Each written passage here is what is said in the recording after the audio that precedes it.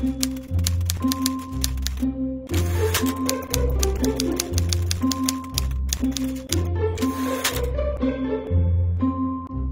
Um, the best advice I've ever been given is to uh, take every opportunity and never give up. Is probably to believe in myself um, always and just to enjoy what you do because if you don't enjoy it, you don't get the performance anyway.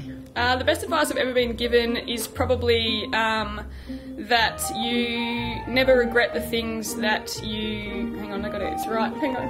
Hang on. Best advice I've been given is probably just to enjoy it. Um, I think you get caught up in so much other stuff involved in the sport, but if you're not enjoying it, there's no point doing it. Yeah.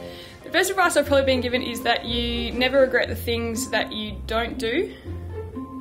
If you're happy in life, then you'll happy be happy in netball.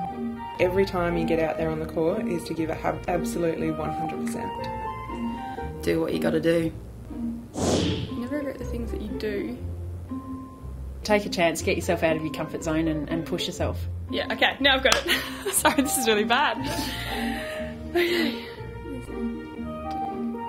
Best advice I've ever been given was by Joyce Brown, and that was to move my feet. And I keep trying and trying and trying.